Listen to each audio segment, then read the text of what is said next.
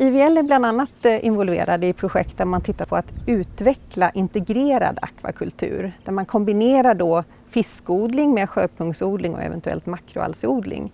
Och eftersom att fiskodlingen i sig kan leda till läckage av närsalter som kväve och fosfor så har man då de andra odlingssystemen integrerade för att ta upp de här närsalterna.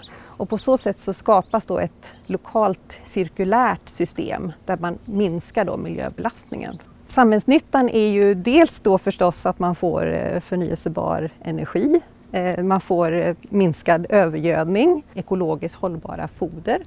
Sen kan man dessutom när man har rötat för biogasframställningen så kan man använda de här resterna för att gödsla åkrarna.